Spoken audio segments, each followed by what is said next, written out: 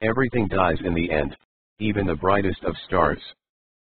In fact, the brightest stars are the ones that live the shortest lives. They consume all the hydrogen they have within a few million years, then explode as brilliant supernovae. Their core remains collapse into a neutron star or black hole. These small, dark objects litter our galaxy, like a cosmic graveyard. Both neutron stars and stellar black holes are difficult to detect. Neutron stars are only about 15 kilometers across, and unless their magnetic poles are aligned such that we see them as pulsars, they would typically be overlooked. Stellar black holes are even smaller and don't give off light of their own. Some appear as microquasars when they consume the mass of a companion star, but most would only be seen when they pass between us and a more distant star, so they could be detected by microlensing.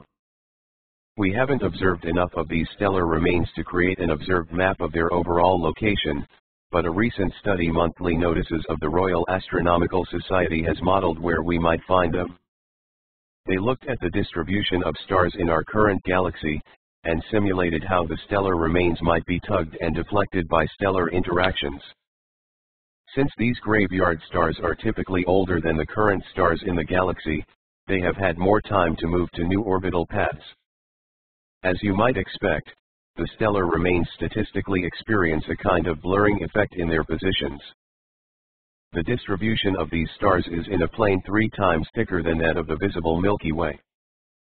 But the team found one aspect of their distribution that was quite surprising. About a third of these old dead stars are being ejected from the galaxy.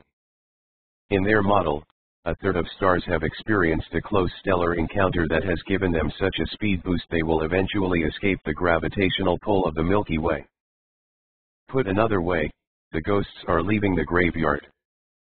This means that over time the Milky Way is evaporating, or losing mass, which is unexpected.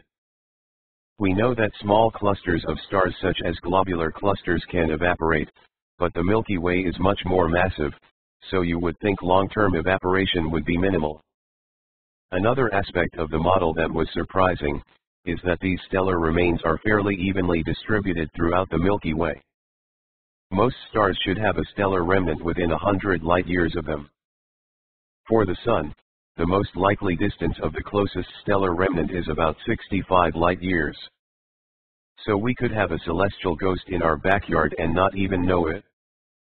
As more sky survey observatories come online, such as Rubin Observatory, we are likely to catch microlensing events and discover where these stellar remains actually are. Then we will finally be able to see the galactic underworld all around us. Thanks for watching and don't forget subscribe to our channel.